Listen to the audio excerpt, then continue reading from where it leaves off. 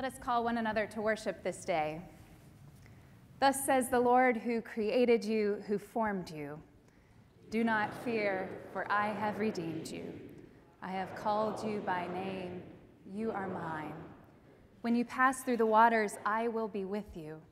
The rivers shall not overwhelm you, for I am the Lord your God. You are our God. We are your people. Alleluia. Amen.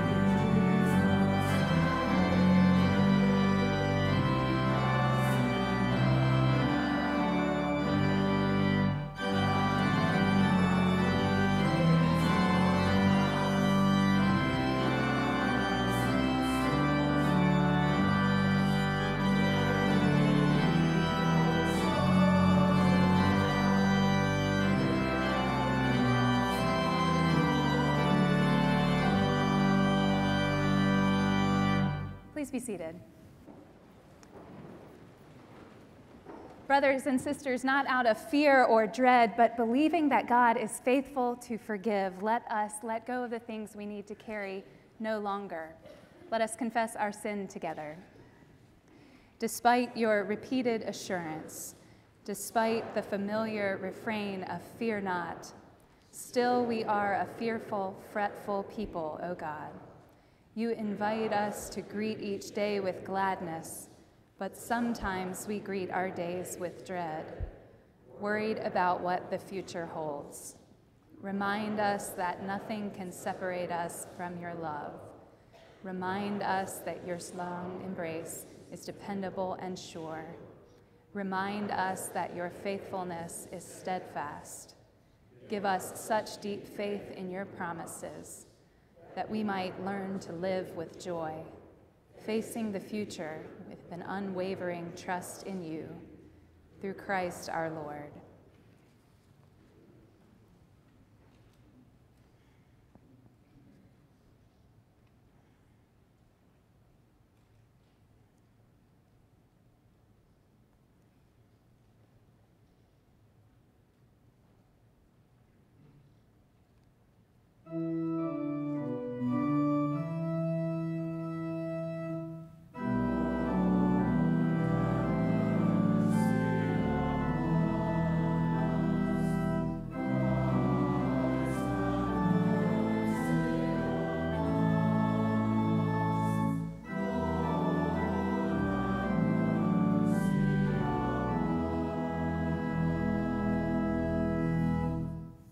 This good news there is no sin so great that God has not forgiven it. There is no one so sinful that God does not love them. And so I declare to you this morning, in the name of Jesus Christ, our sins have been forgiven. And so, friends, in Christ, in response to this good news, how then shall we live?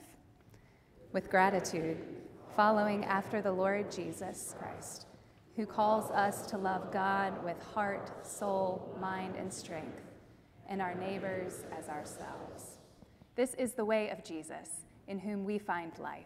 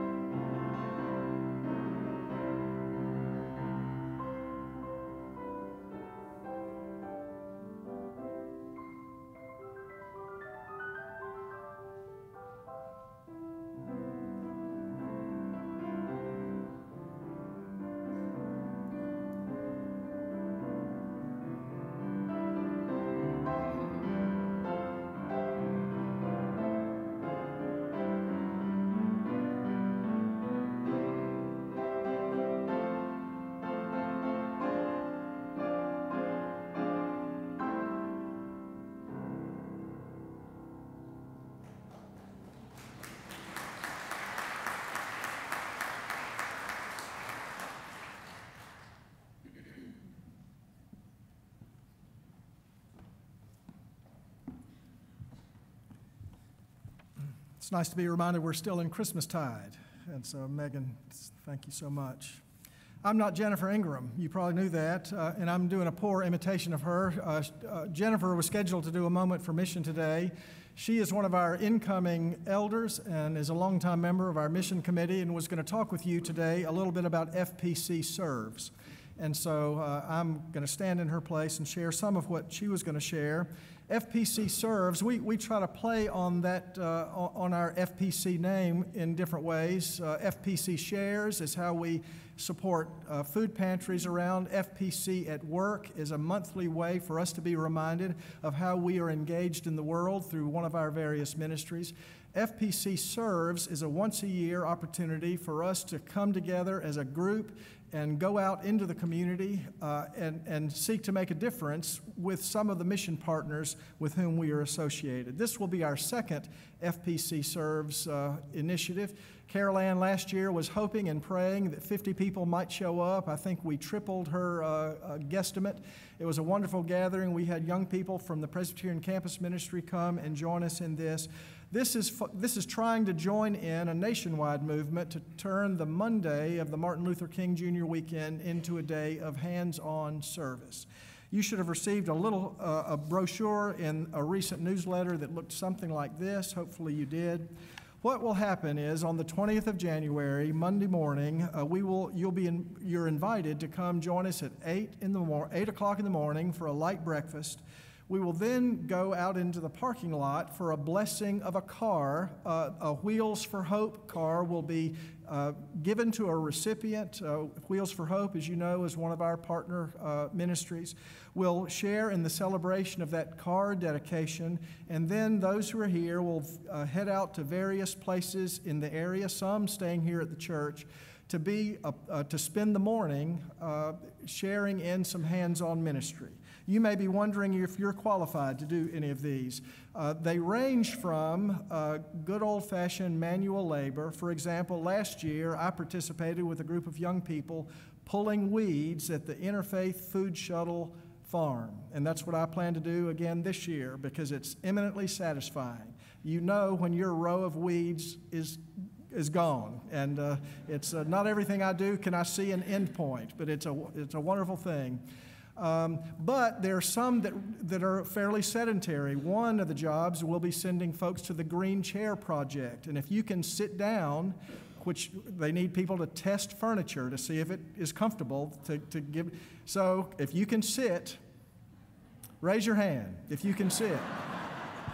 Uh, you're qualified for that particular ministry that day. And so there's a whole list of things. There, there, there's working at food pantries, there's there's uh, packing and, and putting postage on uh, materials that will be sent around the world through Christian Library International. Uh, lots of things going on. You can visit homebound members of our church family. You can work on various projects on our own site, or you can even keep the nursery so that young families can come, uh, drop their children off here, and then fully participate in the morning.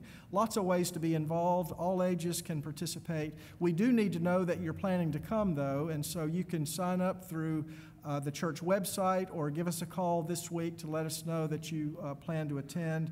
It, and, and while most of the projects go from 9 till noon, what I know is that several groups decided to go ahead and eat lunch together afterward to continue the experience of being together with church family.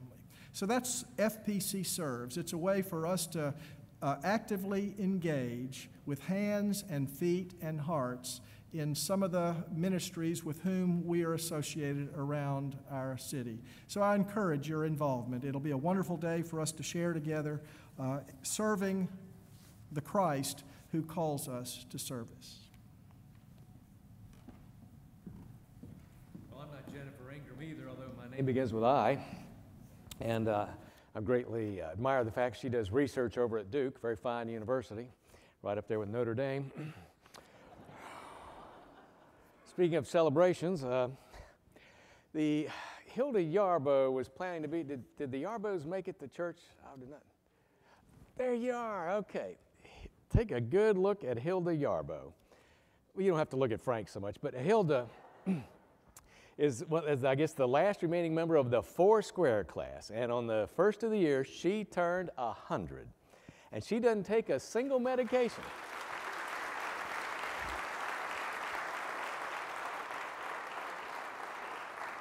And, and you must be Joy. You her daughter? Okay, daughter Joy brought her. Joy's looking after them. They moved to a very nice new apartment out near Holly Springs. And, and Frank, the young guy, is taking care of the cooking and stuff. But it's just a, a joy to have you here, Hilda, celebrating the great 100. It's that good four square living. It uh, keeps you going. Uh, see another celebration. The daughter of Ben and Alice Butler, Julia Butler, know, has been in and out of Duke, had some heart surgery um, and then had some uh, fluid on her lungs, had to go back, but she has been home and is recuperating and feeling better every day. And I think uh, Julia will be going back to school on Tuesday. She should have a, quite an essay to write, My Operation.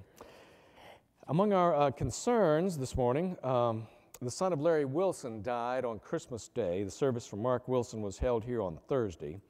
And we just found out this morning from Ginger Beatty, who just found out that a former church member, uh, Jackie Grillo, died back in October. You may remember Jackie and Donato. Um, Donato was the artist. He designed our older adult uh, bulletin one Sunday. And uh, they moved about 12 years ago to Illinois to be near their son. So we're just now finding out about the death of uh, Jackie Grillo. And oh, and one other uh, celebration to uh, to, sell, to uh, share with you. We, it was certainly a concern uh, a couple of weeks ago when you all started praying for Don Haig, who is uh, known to us as the other grandpa of Bruce McLeod, uh, Ed, Ed, and uh, Jenny's uh, grandson. Don Haig was critically ill on Christmas Eve, and Christmas Day did not look like he was going to pull out of that, but prayers have been answered, and he continues to improve and looks to come home from the hospital in Maryland soon. So uh, the Haig family and the McLeods were touched by many prayers and are very appreciative. I think that's all I have. May we come to God in this time of prayer with the words of that uh, grand old hymn ringing in our ears Sweet hour of prayer calls us from a world of care. My soul has often found relief in seasons of distress and grief. Sweet hour of prayer. Let us pray. Gracious God, on the precipice of this new year, which we may be eyeing as filled with potential or perhaps fraught with peril, walk with us, great shepherd, so that we can walk through the waters, through the fire, with no fear, knowing you are with us. Lord, fill us with the faith that you are all around us, and we have nothing to fear since absolutely nothing in this life or the next can separate us from your love. Lord, help us to fret less and serve more, putting our trust in you and lifting our eyes to see our neighbor in need. And then in Christian love, using the gifts you've given us to help shape this corner of the world into your vision for all creation. This morning, we especially thank you for the life of Hilda Yarbo as she has walked with you for an entire century. Eternal Father, in you we live and move and have our being. We humbly pray that you would guide and govern us by your Holy Spirit, so that in all the cares and occupations of our life we won't forget you, but will remember that we are ever walking in your sight, hand in hand in the Spirit of Jesus Christ our Lord, who taught his disciples to pray, saying, Our Father, who art in heaven, hallowed be thy name. Thy kingdom come, thy will be done, on earth as it is in heaven. Give us this day our daily bread, and forgive us our debts as we forgive our debtors. And lead us not into temptation, but deliver us from evil. For thine is the kingdom and the power and the glory forever. Amen.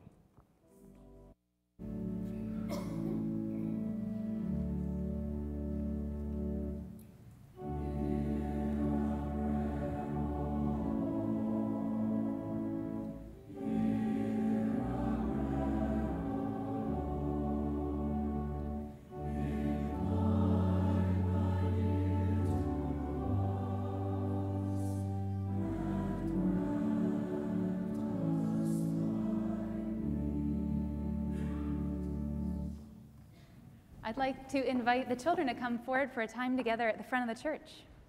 Come on up. Come on up. Come on. Good morning. Morning. Morning. Good morning. Good morning. You waiting on a couple others? Morning.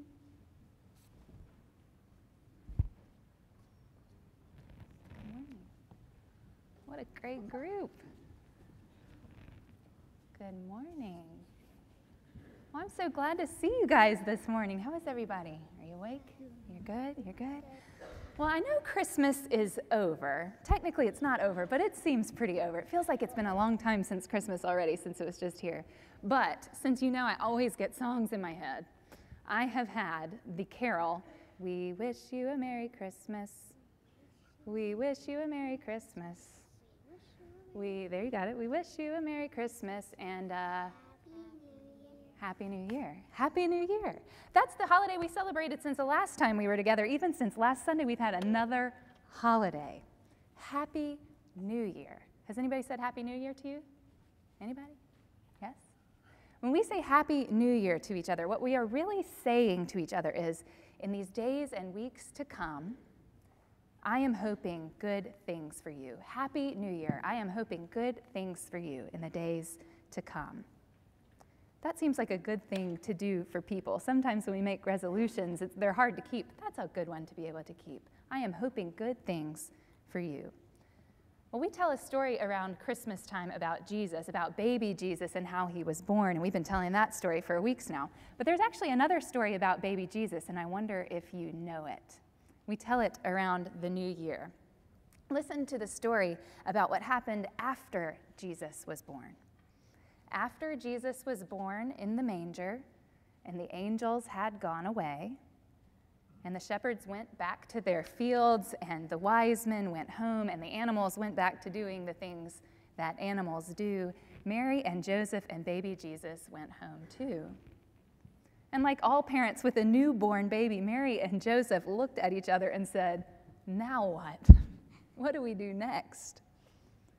You see, for Mary and Joseph, it was hard to imagine what life would be like for them with a new baby in the house after Jesus was born. Now they were home and things had kind of returned to normal. And so Mary and Joseph went back to their normal routines back to school, back to work. And when the day came to go to worship, they went to worship, kind of like here we are sitting in worship. That's just something we do as a part of our normal life. And so that's what they did. And they brought baby Jesus with them into the sanctuary. But they got a surprise when they got in the sanctuary. When they came in the door, a very old man named Simeon jumped up. Can you imagine it? Simeon jumped up and he ran over to Mary and Joseph and he ran over to baby Jesus and he took baby Jesus in his arms. And he said, Hallelujah. This is who I have been waiting for. This is the baby that is a gift from God, and I have waited a long time to meet him. See, Simeon looked at Jesus and knew that God loved him was a strange thing for him to do. And Mary and Joseph were sort of amazed by this that, that, that Simeon, who wasn't there when Jesus was born, he wasn't at the manger, but he knew who Jesus was, just like the angels and the shepherds and the wise men did. Well, this story makes me want to say, Happy New Year, because it reminds me that we are all hoping for good things and that we are all waiting for new beginnings. And it reminds us that God is hoping good things for you, too, the very best things. The good news is that Christmas doesn't end, it's the beginning of the story. And so, my hope for you, when I say Happy New Year to you, what I'm hoping is I hope good things for you. I hope good things for you. Will you pray with me? Let's pray. Dear God, Dear God thank you for Jesus. Thank you for new beginnings. Thank you for new beginnings. Help us to hope good things for each other. Amen. Thanks for coming up. Go back to your seats.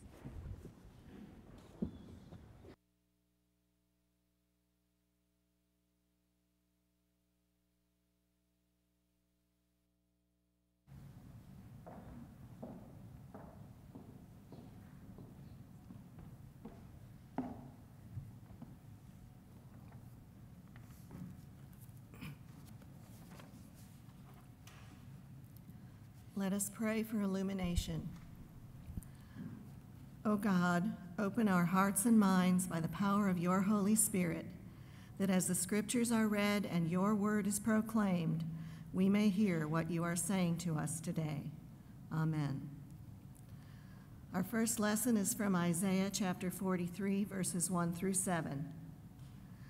But now, thus says the Lord, He who created you, O Jacob, He who formed you, O Israel, do not fear, for I have redeemed you. I have called you by name. You are mine. When you pass through the waters, I will be with you, and through the rivers, they shall not overwhelm you. When you walk through fire, you shall not be burned, and the flame shall not consume you. For I am the Lord your God, the Holy One of Israel, your Savior. I give Egypt as your ransom, Ethiopia and Seba in exchange for you. Because you are precious in my sight and honored, and I love you, I give people in return for you, nations in exchange for your life. Do not fear, for I am with you. I will bring your offspring from the east, and from the west I will gather you. I will say to the north, Give them up, and to the south, Do not withhold. Bring my sons from far away, and my daughters from the end of the earth. Everyone who is called by my name, whom I created for my glory, whom I formed and made. This is the word of the Lord. Thanks be to God.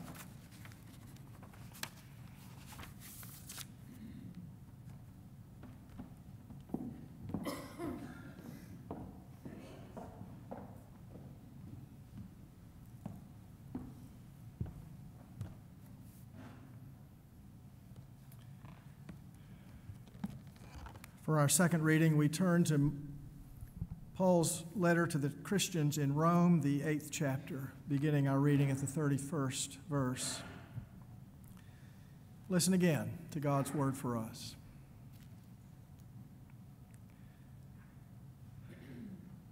What then are we to say about these things? If God is for us, who is against us? He who did not withhold his own, his own son, but gave him up for all of us, will he not with him also give us everything else? Who will bring any charge against God's elect? It is God who justifies. Who is to condemn? It is Christ Jesus who died, yes, who is raised, who is at the right hand of God, who indeed intercedes for us. Who will separate us from the love of Christ? Will hardship or distress or persecution or famine or nakedness or peril or sword? No, in all these things we are more than conquerors through him who loved us.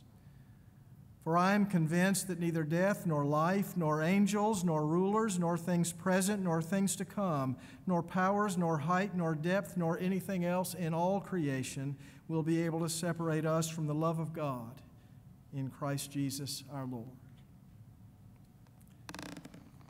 This is the word of the Lord. And again, let us pray.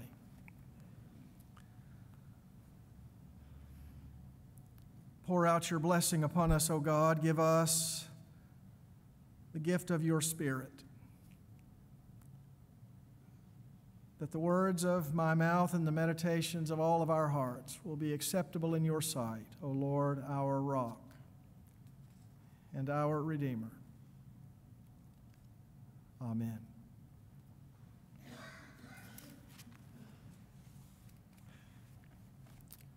A popular film about a dozen years ago was a science fiction movie entitled Signs. At one level, it was a movie about space aliens planning and orchestrating an attack on planet Earth and about the human community gathering together to repel that attack. It's a pretty popular movie genre. But the underneath story, the more important story, was that of the main character, played by Mel Gibson, who portrayed an Episcopal priest who had lost his faith in God following the tragic death of his young wife. Having assumed that God had turned his back on him, Mel Gibson's character decided to turn his back on God and was planning to live the rest of his life ignoring God, even denying God's presence in the world. I won't tell you the whole story here, though it's the movie's been around about 10 years. If you were going to see it, you probably already have. But for our purposes, I'm only really concerned about one moment in the film where the characters have the most explicit discussion of faith I've ever seen in a movie. At a particularly gripping moment in the story, when it looks like all might be lost, Mel Gibson turns to his despairing younger brother and says, in effect, There are two kinds of people in the world some people can look upon an extraordinarily frightening experience and they will panic and they'll think the world is out of control, guided only by chance and fate, so they have no hope and they think they're alone. And then there are those people who, even when the worst happens, even when unimaginable evil occurs and life threatening disaster looms, they believe that there is a benevolent God working for good, watching over them, standing with them, so that even in the midst of tragedy and trial, they don't lose hope. At which point, the fearful younger brother looked up at his older brother, hoping for some encouragement, and he said, Which one are we? At which point, the one time priest said,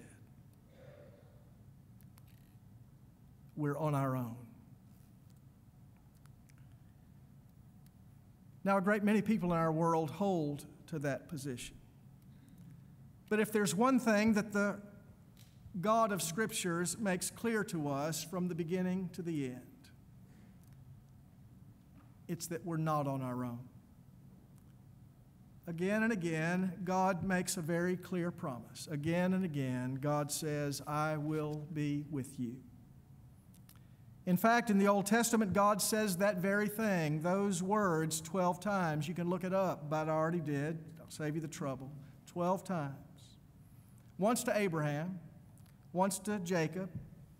Three times he said it to Moses. Every time Moses got a little anxious about what he was being asked to do, where he was being sent to go, what he was being asked to say, every time he expressed those concerns to God, God said, I will be with you. And then, as Joshua prepared to lead the people of God into the promised land, he heard it four times. Four times. Joshua had a daunting task before him, a task he could not have handled all by himself, but he didn't have to handle it all by himself. God said, I will be with you. I will be with you. I will be with you. I will be with you. And then, in addition to Abraham, Jacob, Moses, and Joshua, God also said it to Gideon and to Jeroboam a couple of lesser known biblical characters who needed this assurance as well. And then, whether you know it or not, God makes the promise to you I will be with you. The first 11 times God makes this promise, it's to specific individuals. But here in the 43rd chapter of Isaiah, God speaks to Israel, the chosen people of God, the covenant people whose lineage we claim. And to them, to us, God makes the promise I will be with you. This is what God said I've called you by name. You are mine. When you pass through the waters, I will be with you. And through the rivers, they shall not overwhelm you. When you walk through fire, you shall not be burned, and the flame shall not consume you. Why? Because I am with you, says God. I am with you. Mel Gibson says there are two kinds of people in the world those who believe God is with them and those who don't. Those who believe God is with them as a source of security in an insecure world, and those who think they are on their own. And this is not an insignificant matter. Because what we believe about this will shape us, it will color the way we look at the world. It will determine whether we live our lives as hopeful people or despairing people.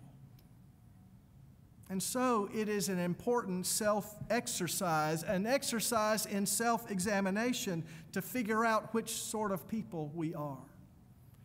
Are we, you and I, the sort of people who live with a confident trust, with a hopeful faith that come what may, God is with us, overcoming evil with good, and in all things working for good? Or are we the sort of people who think that we're pretty much on our own? Not just living in a randomly ordered universe, but living alone in a randomly ordered universe. No God, no grace no hope. Now, sometimes it is the trauma and turbulence of our lives that shakes our faith and makes us wonder if we're alone. But look again at the text. God doesn't say, Since I am with you, you will live a life free from tragedy and trial. Instead, God says, When you pass through the waters, they will not overwhelm you. and when you walk through the fire. Not if, but when. When you walk through the fire, the flame shall not consume you. Why? Because I am the Lord your God, and I am with you. What this means is is that a pain free and trauma free life is not the evidence that God is with us, that we have strength to endure in the midst of our seasons of pain and trauma. That is what reminds us that God is with us. For there will be raging water that threatens to engulf us. There will be raging fire that threatens to consume us. That's just a given in this life. If you haven't faced it in one form or another, you will. But it's also a given that God is with us, that God is present, that God will not forsake us. That's what God told Abraham and Jacob and Moses and Joshua and Gideon and Jeroboam, and that's what God has told us. And if we didn't get it, having heard it again and again and again, when Jesus is born into the world, an angel reminds Mary of the ancient prophecy that a virgin shall conceive and bear a son, and they shall call him what? Emmanuel, God with us. And so, the very presence of Jesus in the world is God's way of telling us one more time I'm with you. I'm with you.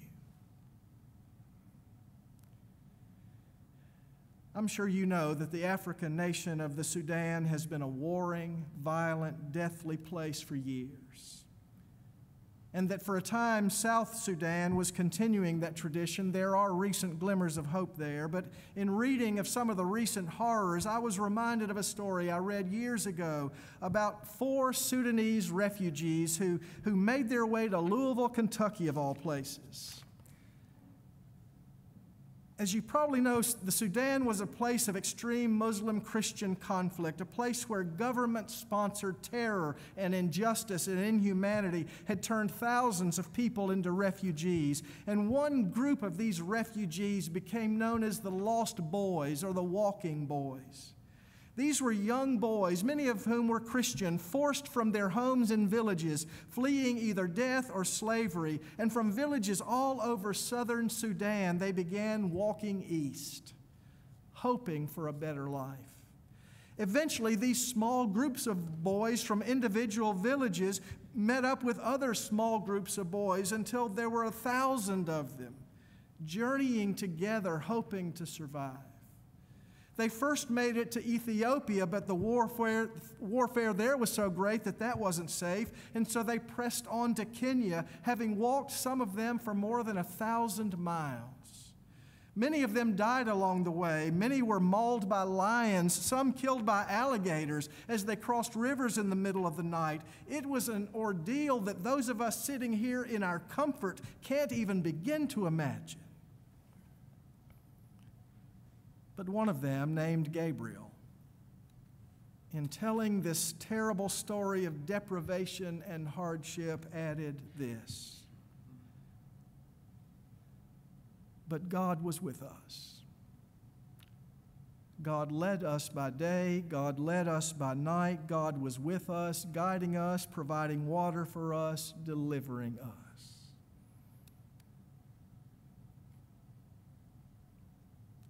You don't even know Gabriel, but you know now what kind of person he is. He's one of those kinds of people who endures hardship and suffering and trial, and through it all, trusts that a benevolent God is at work, bringing good out of evil, working in all things, even in the midst of despicable things for the good of his own children. Trusting that even in the midst of that raging water and consuming fire, that God was present, just like God promised to be.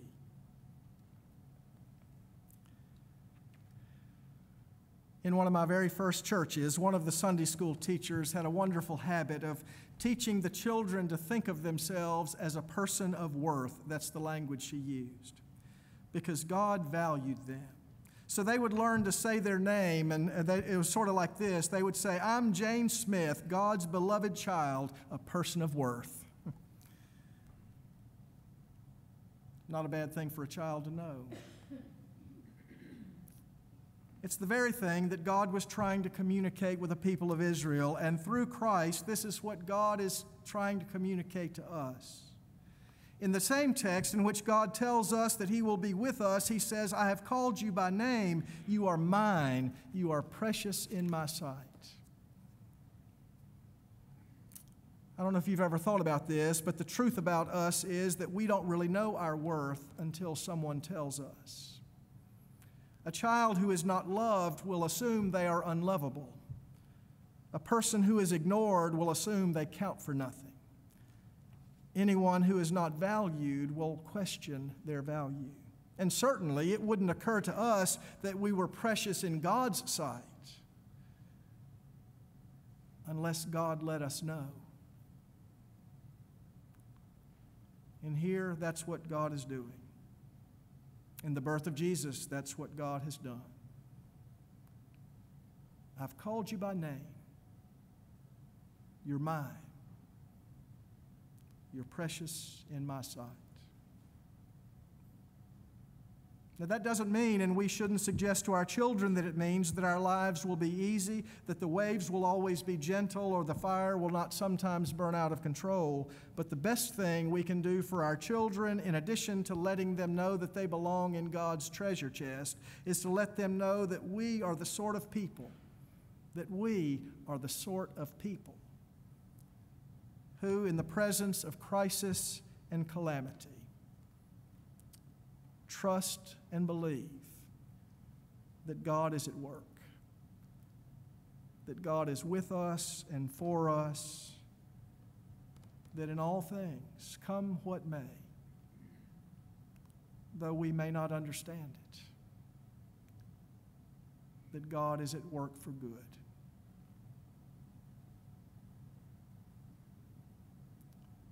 So, what kind of people are we? How have we chosen to look at the world? Do we trust and believe that God is with us, keeping the promises made to us? Or do you think you're getting by on your own, facing the raging water and the searing fire all by yourself? Now, the truth is, God is with us whether we notice it or not. But those who notice, those who notice God and in noticing God, trust. Well, they are the ones, and you've seen them. They are the ones in whom we see deep joy and strong serenity. the sort of joy and serenity that has only one source, but which is available to us all through Christ our Lord. To God be the glory now and forever. Amen. Thank you.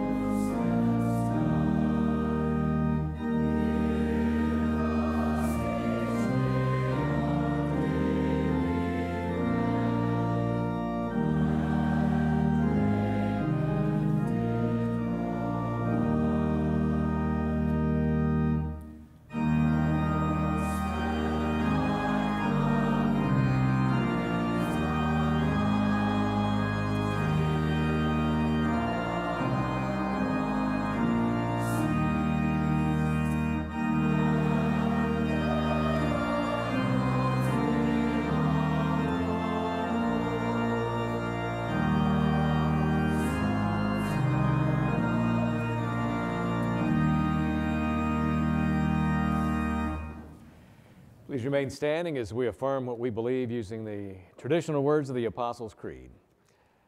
Let us affirm what we believe. I believe in God the Father Almighty, maker of heaven and earth, and in Jesus Christ, his only Son, our Lord, who was conceived by the Holy Ghost, born of the Virgin Mary, suffered under Pontius Pilate, was crucified, dead, and buried. He descended into hell. The third day he rose again from the dead. He ascended into heaven and sitteth on the right hand of God the Father Almighty. From thence he shall come to judge the quick and the dead. I believe in the Holy Ghost, the holy Catholic Church, the communion of saints, the forgiveness of sins, the resurrection of the body, and the life everlasting. Amen.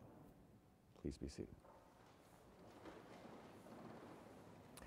One way we know God is with us is that feeling we get when we, out of gratitude, give to God, trusting that God will provide and trusting that God will guide us to use our combined resources to, to do God's work here in this corner of the kingdom.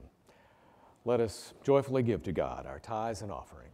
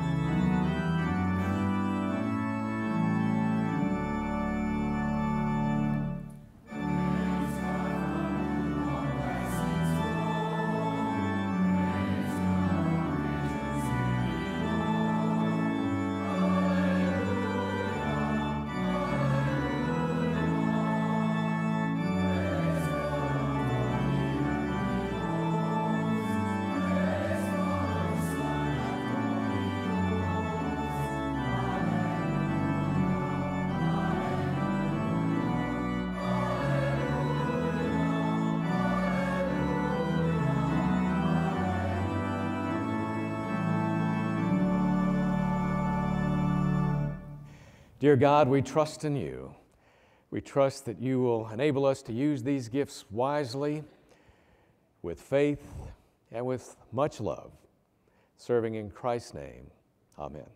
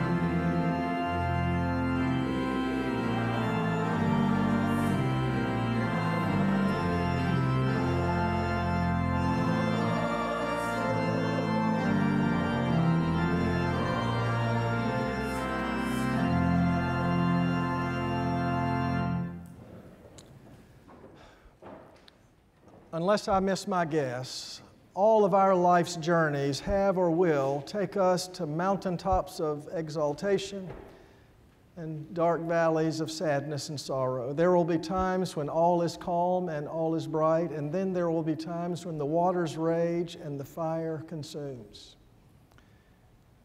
But the one constant is God's faithfulness to be and abide with us. Trust that faithfulness as you go from this place and as you go to live the rest of your lives to the glory of God. And now may grace, mercy, and peace, the triune blessing of a triune God, Father, Son, and Holy Spirit, be with you and abide with you, with those you love, and with God's people everywhere, now and forevermore. Amen.